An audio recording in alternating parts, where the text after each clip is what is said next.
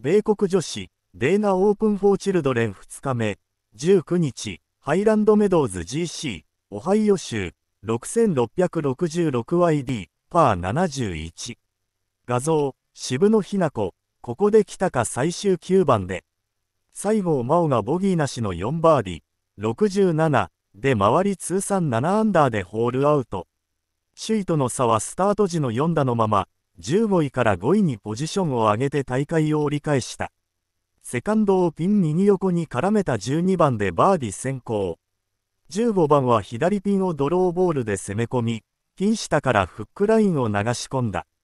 打ち下ろしの後半2番、パー3、燃えると、4番はベタピンで4個目。左からのバーディパットが2メートルほどオーバーした最終9番も返しを沈めて無傷で18ホールを駆け抜けた。中継局 WOWOW のインタビューでは、3つあるロングホールでバーディを得れなかったことを悔しがりつつ、昨日の反省を生かしてティショットの安定性が戻ってきたのは良かった。グリーンを外しても、アプローチでセーブできていたと思う、と話した。合格点をつけたフェアウェイキープ率は初日42.85%、14分の6から92.85%、14分の13と劇的に改善。しっかりフェアウェイから狙えたことで、パーオン率も77.78%、18分の14と高水準だった。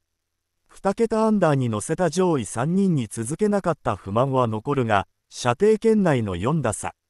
ルーキーシーズンの課題としてきたパッティングも、この日28パットとまずまずだった。